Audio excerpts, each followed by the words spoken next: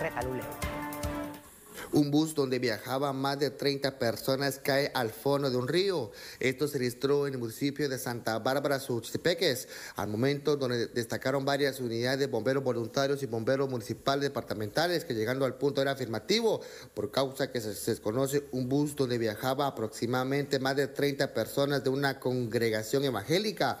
Al impacto quedan atrapados adentro del vehículo en la orilla del río, al momento que fueron rescatados y dándole atención prehospitalaria y fueron trasladados hacia diferentes centros asistenciales con golpes leves en diferentes partes del cuerpo y con crisis nerviosa. Iban involucrados personas adultas y menores de edad. En el lugar se hizo la presencia de los agentes de la Policía Nacional Civil, donde informaron que un bus sufrió un fuerte accidente al momento al caer de un fondo de un río en Aldea Rome de ese municipio, donde en el lugar quedó el vehículo involucrado donde se siguen dando las investigaciones correspondientes. Desde el municipio de Santa Bárbara, Suchipeques, info para ustedes, Carlos Rodas.